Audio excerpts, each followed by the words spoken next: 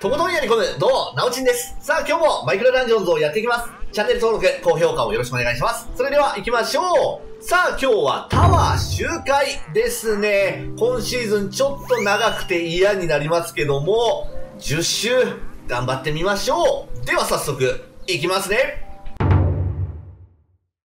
一発目全然良くない。全然良くない。あ、でもまあ、ダイナモさんとかね、まあいいんじゃない？次。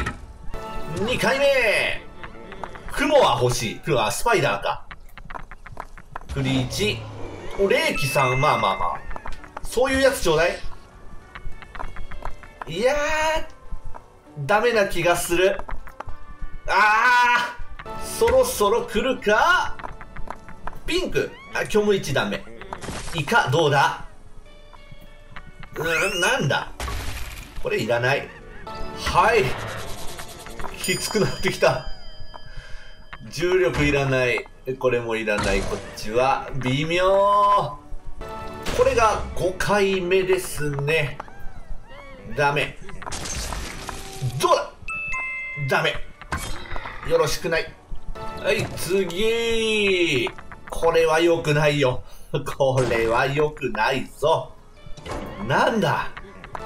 おし、ダメだ、ダメだ。もう見た目でもすぐにダメっていうのがわかる、もう。よし、日付も変わりまして、残り3回頑張りましょう。ちょっと待って。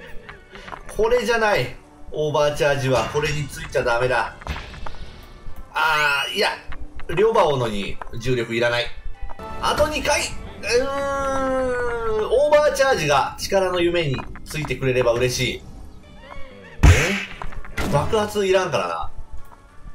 ま、うー、あ、あり。ありかな？うん、うん。うん。